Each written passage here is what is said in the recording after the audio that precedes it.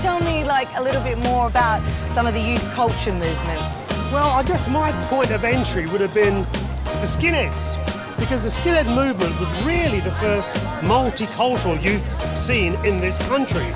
It was a kind of a mashup of Jamaican rude boy culture with white working class kids. So my white mates set about creating a soundtrack that was of the people, for the people, by the people. And that was punk rock. So how did you get involved? Well, interestingly, I got the gig to DJ at the very first punk rock venue in the UK. What venue was that? It's called the Roxy. Ah, the it was in Covent Garden. Yeah, yeah. And this was so early in the punk rock scene, there weren't any punk rock records to play. So what's a guy to do?